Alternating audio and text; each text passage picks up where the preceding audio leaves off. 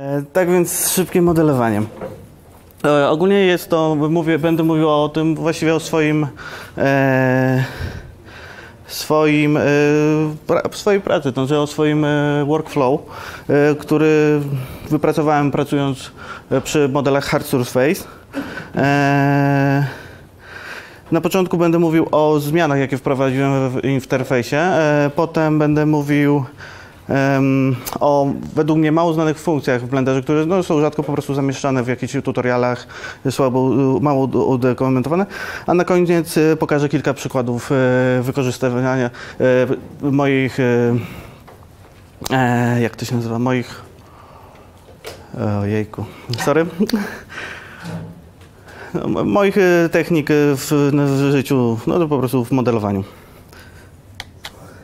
E, My e, shortcuts. E, Pierwsze rzeczy, które zmieniłem to przełączanie się szybkie klawiszami 1, 2, 3 między select, Edge Select, Vertex Select i Face Select.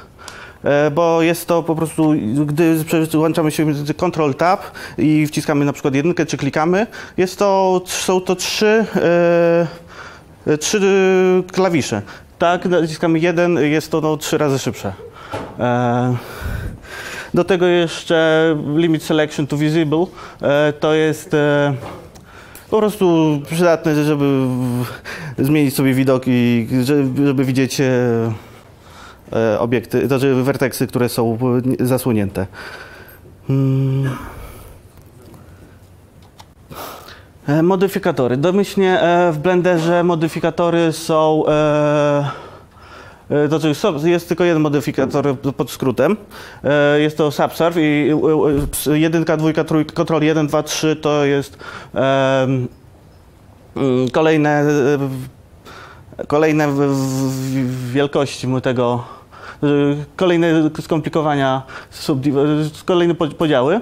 E, Ja zmieniłem, że Ctrl 1 to zwiększa podział o 1, Ctrl e, tilde, bo to jest ten e, przecinek, to jest tilde właściwie koło jedynki, zmniejsza o 1, tak, że mam resztę wolnych, pod które podpiąłem sobie po prostu inne modyfikatory, które używam najczęściej. E, To jest e, pivot point, to jest e, bardzo według mnie skopana funkcja w Blenderze, gdzie jest kontrol przecinek, kontrol, e, czy tam alt przecinek, jakieś bardzo dziwne skróty. Ja sobie to zrobiłem na zasadzie zaznaczenia, to znaczy shift, lewy przycisk myszy i gest po prostu.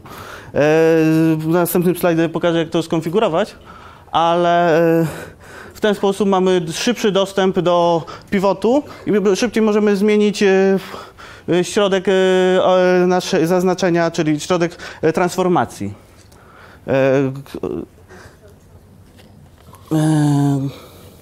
Często z tego korzystam. Tak wygląda konfiguracja tego. Może nie, nie widać. Najważniejsze jest to tweak. Polega to na tym, że właśnie tweak, e, left, czyli lewy przycisk myszy i west, czyli e, w, w prawo? W prawo? Nie, w lewo. Dobra, dobrze myślałem. ten. Okej.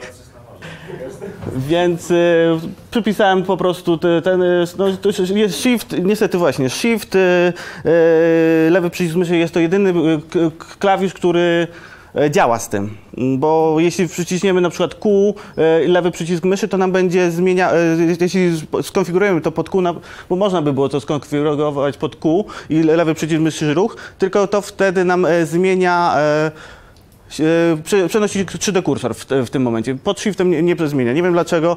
Czekam na e, Menus, e, które mam nadzieję, że poprawią konfigurację i sprawią, że gesty w Blenderze będą e, łatwiej konfigurowalne i łatwiej będzie można ich po prostu używać więcej, bo bardzo przyspieszy pracę wciśnięcie e, ruch, ruch myszką, prosty gest, niż e, gdzieś tam dziwne skróty i ich zapamiętywanie. E, lub toolsy, no to chyba jest podstawa. E, to po prostu każdy powinien, jeśli myślę o szybkim modelowaniu, powinien używać e, e, tego. To są najczęściej przeze mnie używane te- pięć funkcji z, Loop Tools, które bardzo, bardzo przyspieszały pracę. Jeśli ktoś nie zna, y, radzę się zapoznać. Będę ich te, chyba też używał. Selection. Zaznaczanie. Op- oprócz takich zwykłych e, zaznaczań e, typu e, more, less, or tak, takich zwiększenie zaznaczenia ten loop tu, zwykłych zaznaczeń loopów, edge, edge loopów, edge ringów. Em, ch- chciałem, są zaznaczenia tak, control e, lewy albo prawy, nie wiem, nie, robię to machinalnie, control e, chyba lewy myszy, nie, może prawy, prawy, no. E, robi ścieżkę, ale robi tylko ścieżkę dla face'ów, dla edge'ów, e, nie robi dla vertexów. Ale natomiast jest do wyhaczenia vertex patch, e, patch e, tyle, że on jest pod linkami, pod w, menu, menu specials W albo Ctrl V. I tam jest select vertex. Nie wiem dlaczego, nie wiem dlaczego nie działa to z kontrolem ale też jest i to też czasem się przydaje. E, Select Similar to jest Shift G, tam są, e, jeśli jesteś Edit Mode, e, zaznaczyć podobne ścianki, podobne werteksy, po, będę używał, będę pokazywał, jak to można wykorzystać w praktyce. Nie ma też w tym Select Similar, nie ma Linked Flat Faces. Control, Shift Control Alt S. E, to jest o tyle fajne, że na przykład coplanar, jak mamy w Select Similar, nam e, zaznaczy wszystkie, które są na tej samej płaszczyźnie. E, Linked Flat Faces za, może nam zaznaczyć krzywiznę, pod, to czy wszystkie face'y, które łączą się z tym face'em i następnymi pod jakimś danym kątem, na przykład tylko o 3%, więc jest to jakaś krzywizna, która może być zaznaczona właśnie dzięki temu e, e, skrótowi, temu narzędziu. Checker Deselect jest to narzędzie, które pozwala nam odznaczyć, ale odznaczyć na przykład co drugi, co trzeci e, Vertex albo Edge jest też bardzo przydatne i, i też pokażę i ciekawe sposoby używania go. Selection. E, Teraz e, e, będę właśnie pokazywał, jak uzyskać. Znaczy, zaznaczenie takie według mnie jest dosyć trudne. Zaznaczyć co trzeci edge e, w, dużym. Ten, ale można to za, za, za, właśnie za pomocą pewnej kombinacji uzyskać. Dobra, no to zaczynamy. Jak zaznaczyć co drugi? e, Jest, dodajemy sobie cylindra. Tak, e, o. Aha. Shift sense. E, Dodajemy sobie zwykły cylinder. Dajemy mu jakoś dużo. I chcemy teraz zaznaczyć Z. Ok. O. Zaznaczyć co musielibyśmy to robić ręcznie. To jest. Nie wiem, no jeśli ktoś. Mój sposób jest taki: zaznaczyć sobie lupa poprzecznego, e, dać, e, zmienić na e- edge, zaznaczmy select, checker deselect, zmieniamy co drugie, dodajemy Ctrl plus, to jest expand, zmieniamy na edge select, odznaczamy Ctrl E, edge loop. Taka ciekawa kombinacja. Szybka, prosta, e, wyda- to prosta, może nie prosta, ale, ale jest to pewien sposób zaznaczenia do, dosyć pewnych dużych ilości edge. Co tu jeszcze mogę ten? Do pivotów. E, moje, właśnie zmieniam sobie właśnie shift tweak, no bardzo ładnie pokazuje, czyli shift lewy przycisk. E, Zmieniam pivoty e, shift e, lewy i ruch myszką. Na przykład jeśli chcę sobie mam hmm, co tu zrobić random w subdivide e, smoothness number cuts fractal. Ok. Ok. E, mamy taki randomowy i chcemy na przykład do tego vertexa zaznaczyć, do aktywnego, To trzeba było Shift S, cursor to selected. No, albo zmieniać sobie ten. Ja robię ruch myszką w lewo. Nie, poczekaj, w lewo. Nie, o, dobra. Po skosie w górę. W górę i w lewo. E, W górę, w lewo. Nie, dobra. Nie, chyba nie umiem. Scale, scale Z. Scale Z. Z a, scale Z 0. I mam e, wyrównane do tego werteksa na dole. Bez żadnych tych tutaj przełączania się. Jak chcę, żeby teraz z centrum, skaluję do centrum. E, Do tego. mm, no i- No do tego właśnie uważam, że pivot jest, y, mogę sobie tam do aktywnego, nie, po prostu zmieniać go szybciej e, niż to, mo- niż to jest do tej pory było możliwe. Znaczy to jest możliwe, to jest chyba alt przecinek, alt coś tam, nigdy tego, nie, dobra, to control przecinek, tak, control przecinek, control chyba shift przecinek, nie pamiętam, no nie pamiętam tych skrótów, nigdy nie umiałem ich zapamiętać i logicznie powiązać. Tu mam shift i po prostu w którąś stronę sobie pomacham pięć razy myszką, ale znajdę według mnie szybciej niż nawet tu wybierając, no może tu by było szybciej, no nie wiem. Ale nie lubię schodzić do belki, jakoś wolę pracować po prostu na czystym ekranie i e, nie wchodzić w żadne tutaj interfejsy, jak najmniej. Mm, Co więcej? Następny slajd. Okrągłe e, to jest rounded e, ends, e, rounded caps, można by to przetłumaczyć. To jeśli tak, ta, w ten sposób zakończenia okręgów jest wygodniejszy do teksturowania, do ogólnie lepiej wygląda na subsurfie niż na przykład jeśli ktoś zakończy werteksem na środku, bo po prostu powstają artefakty. Więc zrobienie takiego też przy dużej ilości e, werteksów, e, no nie wiem, to czy nie, mm, teraz, a nie, teraz wyszedł e, w nowym blenderze jest jakaś funkcja, która tam za, zamyka takie te, ale no niestety ja robiłem przed i wymyśliłem, to znaczy, oj, wróć. Wymyśliłem taki sposób na zakończenie końców. To za- zamkniemy sobie, dodamy sobie nowy cylinder, a nie cylinder. E, cylinder, mesh, cylinder, nigdy go nie dodaję.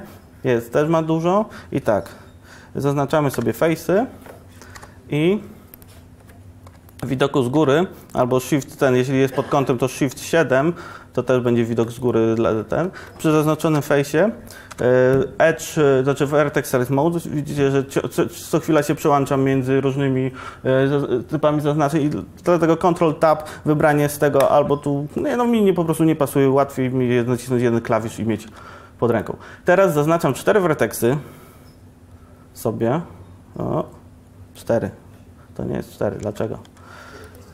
E, bo to jest four vertices. Why it not aligned? I don't know. Bo masz 100 podziałów niesymetrycznych. Niesymetrycznie, masz rację. 100 podziałów. It's, e, masz e, Circu? Nie. Cylinder nie 100. O, 100. 128, tak. A. 8. Jeszcze trudniej. No ale to, to, że tak powiem, liczba nie ten. Jeśli jest. Tak, mamy werteksy i tak, B. Zaznaczamy sobie, nie wiem, to jest, no nieważne w każdym. Naciskamy J i od razu nam zaznacza e, e, ten. E, w, tutaj, teraz przydałoby się policzyć ile tego jest, ale no tak, no, ja często to robię na oko, ale jeśli chcecie policzyć, e, możecie zaznaczyć sobie to po prostu. I na belce pokazuje nam, ile mamy zaznaczonych y, edge'ów, czyli 38, to robi Ctrl R 38. Tak, dzielimy. E, mamy tutaj na tym 26. Tutaj, jeśli ktoś ten 26. E, dobra.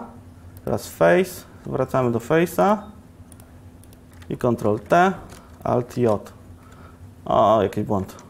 A to można po prostu sobie albo o. To pokażę jeszcze inną. Jak usunąć taki ten Alt M, Collapse. To jest też. e, O, i tu chyba jest jeszcze jakiś taki Alt M, Collapse. Teraz zaznaczamy sobie ten, Ctrl, e, nie, Ctrl, minus Ctrl Invert. Sprawdzamy, czy tam nic się nie zaznaczyło. Ctrl plus i W. Smooth. Tu jest smooth. I mamy zamknięty ten.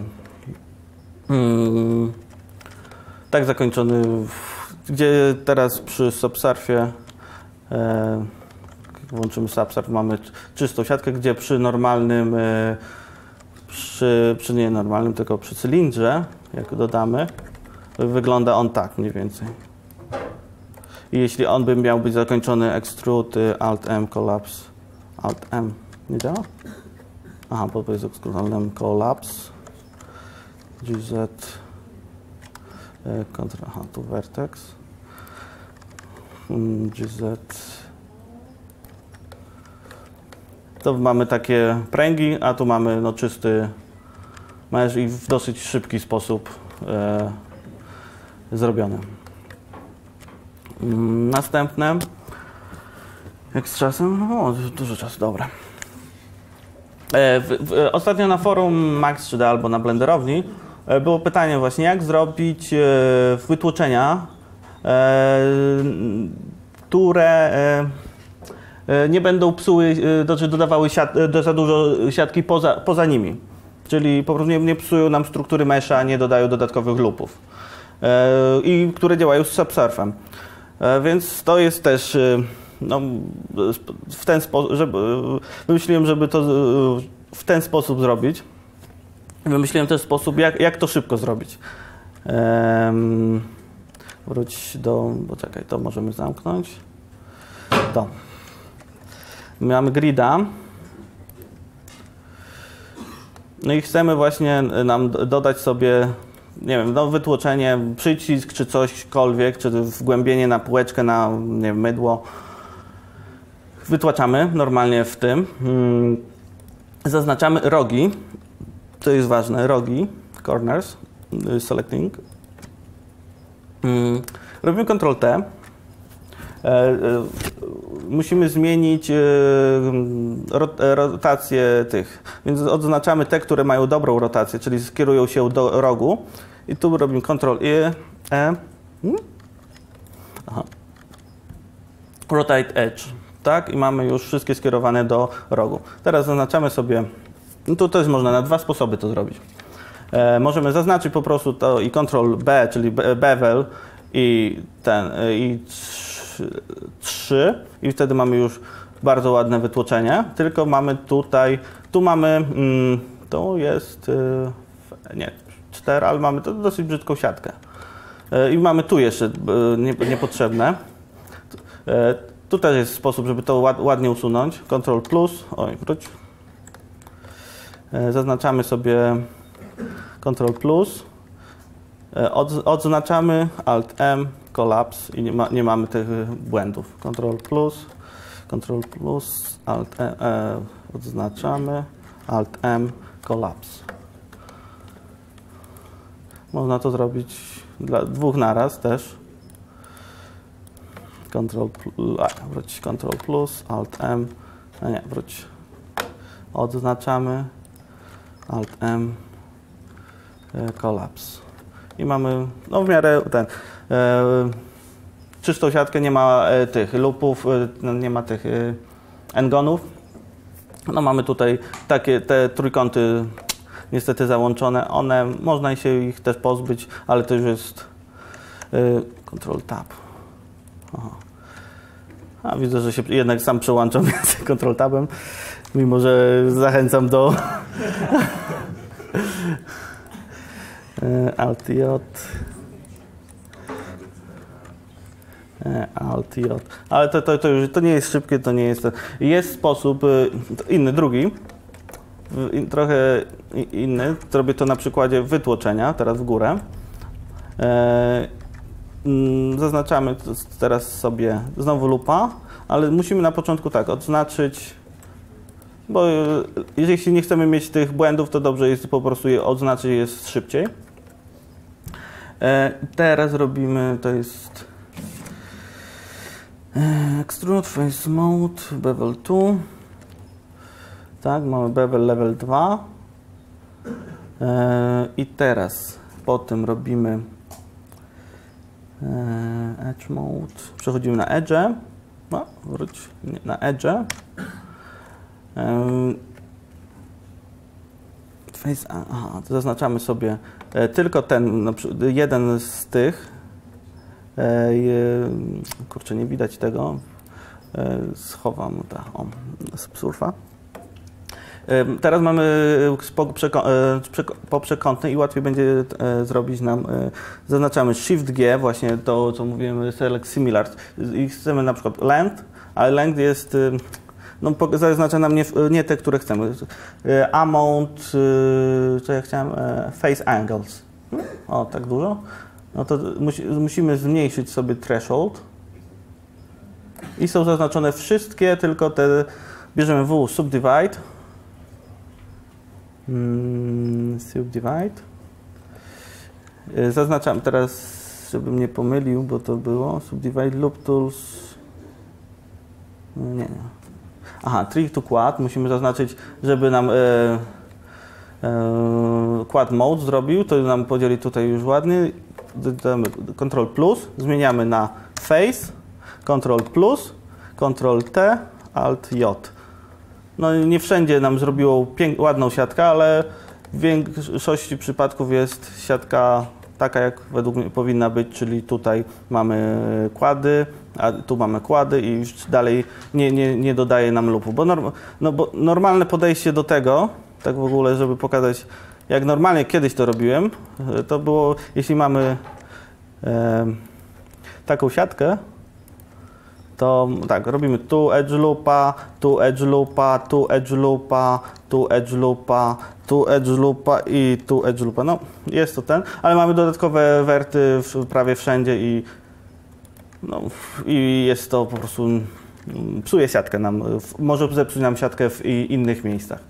A tak mamy tylko w obrębie tego detalu y, i, i, i, i według mnie jest czysto i, i wygodnie. E, Perforacja. Zrobić, jak zrobić dużo, dużo, dużo różnych tych. e, To jest dosyć proste. Jak zrobić dużo e, dziurek w jakimś, no nie wiem, blaszce, e, czy te. Jest to, mm, można by to potraktować arrayem, ale ja nie, jakoś nie, nie, nie jestem przekonany do arraya. Też na gridzie sko- skorzystam z grida. Subdivide. Aha, z fractal. E, Wyłączmy fraktal. Ctrl minus. Aha, nie, nie da się odjąć. E, I tak, Ctrl B e, robi nam mm, face, ale my chcemy tylko i wyłącznie vertexy. Przechodzimy na face, W subdivide. Teraz korzystamy z addona, którego nie włączyłem. Ctrl Alt U e, Loop Tools, e, który to nam pozwoli te wszystkie kwadraciki zamienić na kółka. Teraz korzy- naciskamy i Insert, e, zmieniamy tutaj select, wyłączamy Select Outer, usuwamy te i mamy ten. Do, do tego możemy właśnie Ctrl 2, znaczy to, to jest mój skrót Ctrl 2 to jest e, dodaje nam Solidify i no, zwiększyć Subsurf. O.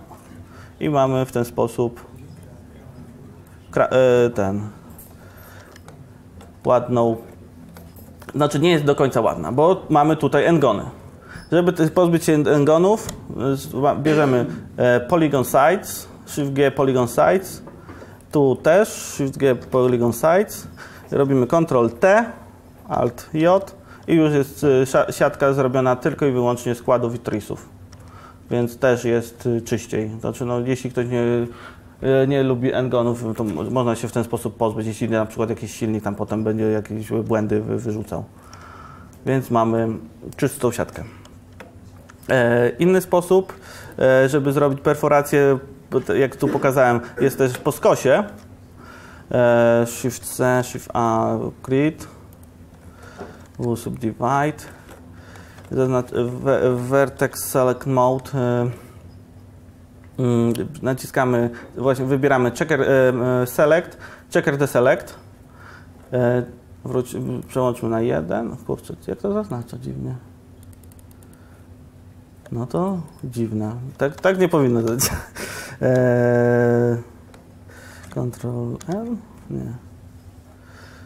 Select, checker deselect. No to widzę, że to jest. Aha, bo to jest offset, dobra. End selection. Eee, mamy co drugi y, zaznaczony vertex, tak, y, szachownicę, dzięki czemu. O, Ctrl Z. Trzeba było to wcześniej odznaczyć. I to robimy właściwie to samo. Ctrl B, zaznaczamy vertexy, możemy to trochę zmniejszyć. E, view Subdivide.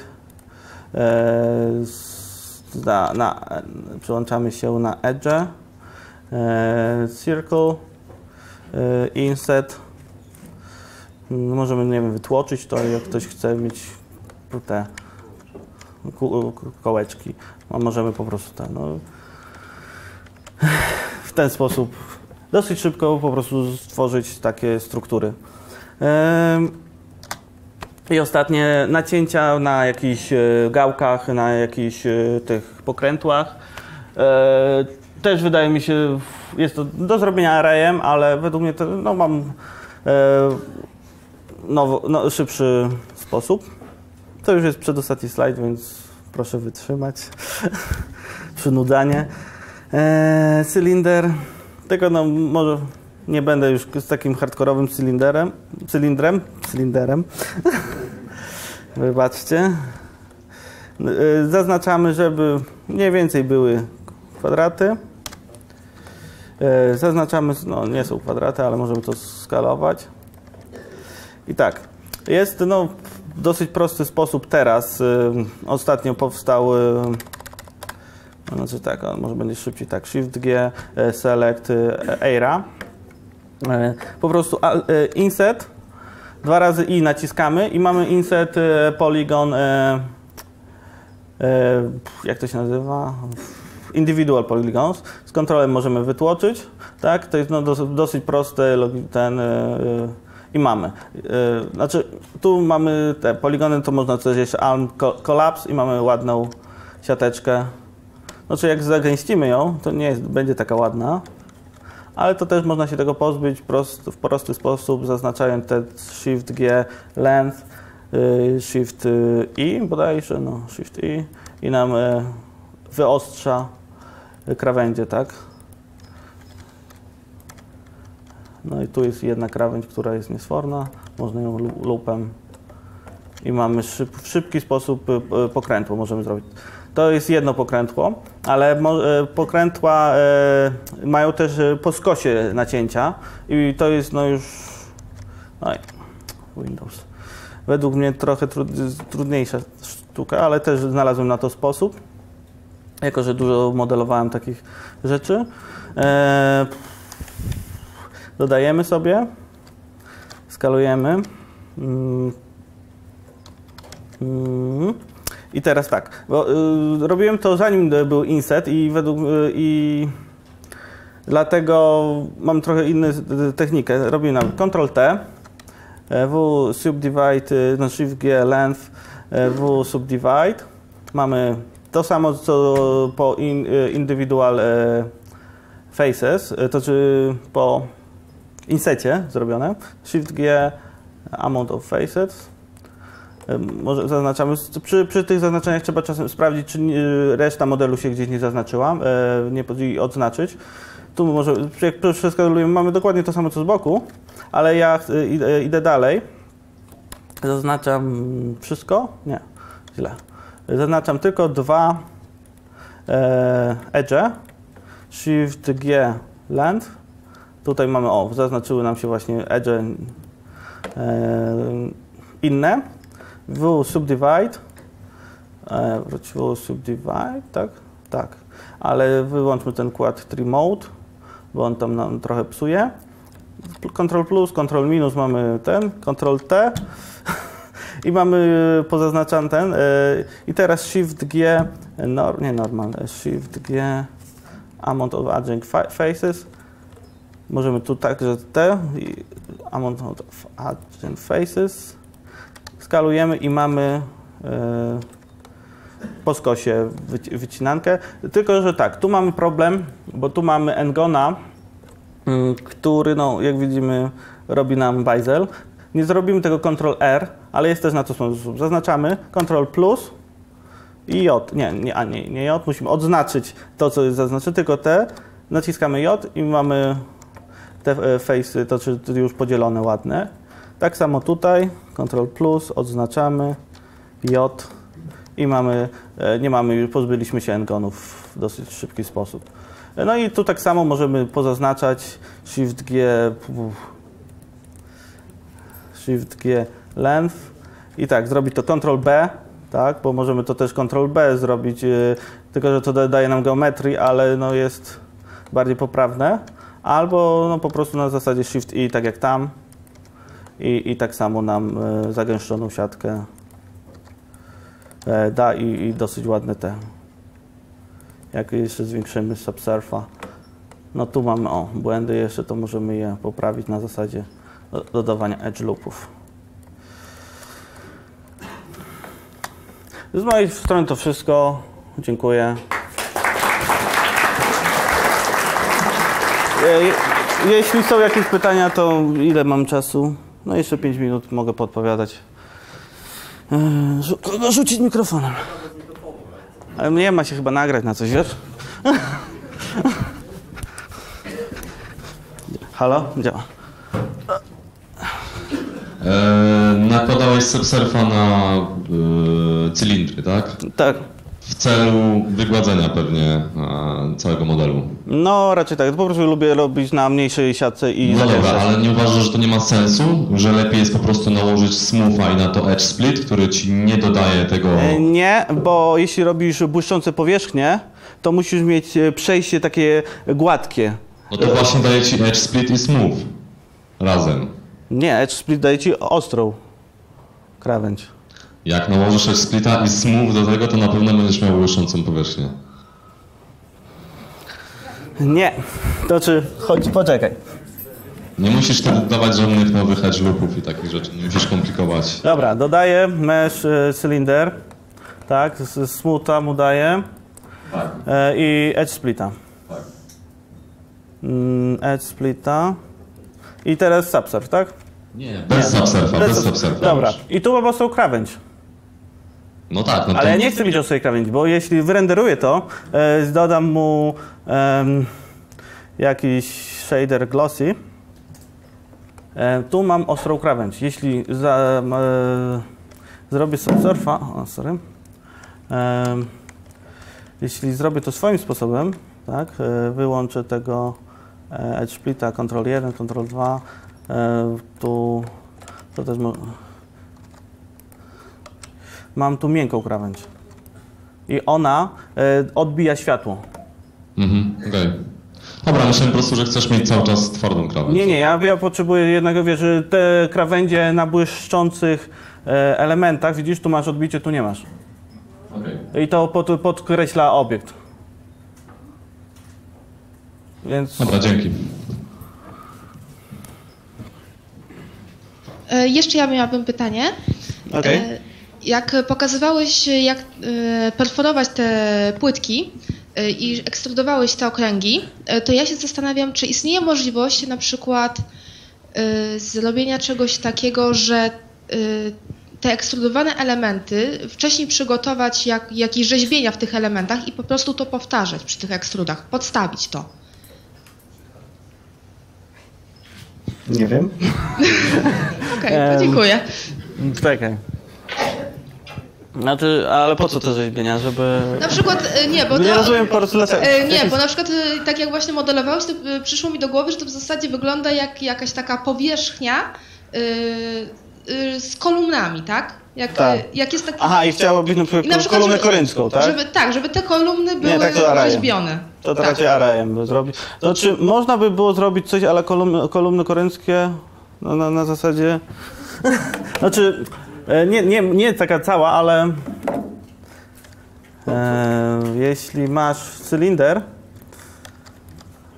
no to znaczy oczywiście potem trzeba by było sobie to zaznaczyć. E, nie, mam, nie mam tego. Nie, dobra, zrobię to na szybko. E, grida. Grid. Subdivide. E, Ctrl B. Vertex. Subdivide. E, circle. E, e, inset, żeby było ładnie. Extrude. Tak? Mamy to i teraz chcemy na przykład tu. Wróć. To też trzeba y, zrobić extrude mały. O, coś takiego. I teraz Shift G length. I tu możemy Ctrl B znowu zrobić. O. I inset. O, o, o, o. I ha. Czekaj. Znaczy, no, to akurat to zmienia w drugą stronę.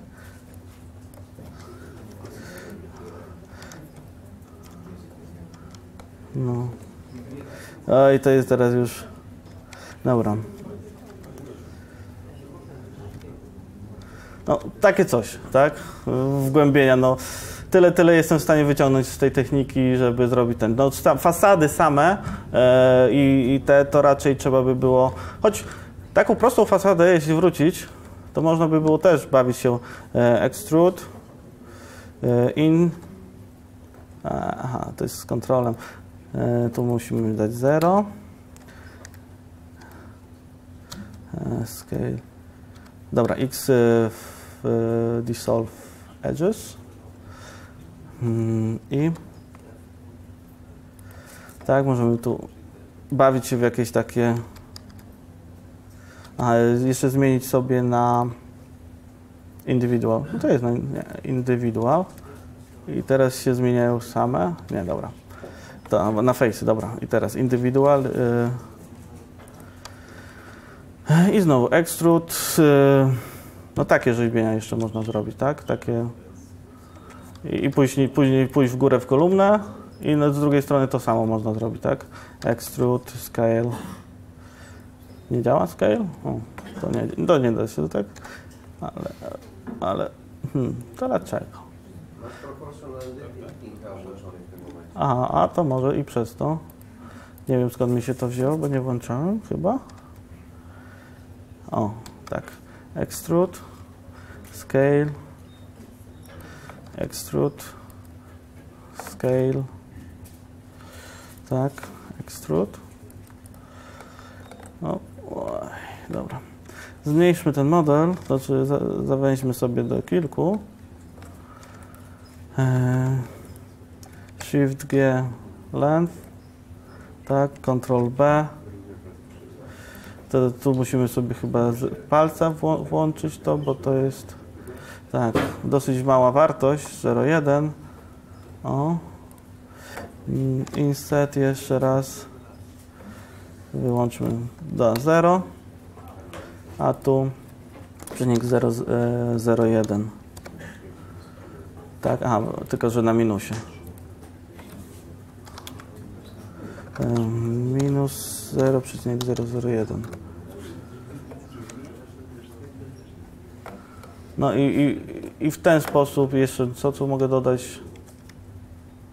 W ten sposób, no takie kolumny no, można by uzy- uzyskać w miarę szybko. Co, co mi wpadło w, tej chwili do głowy. No. Coś jeszcze? Koleżanka?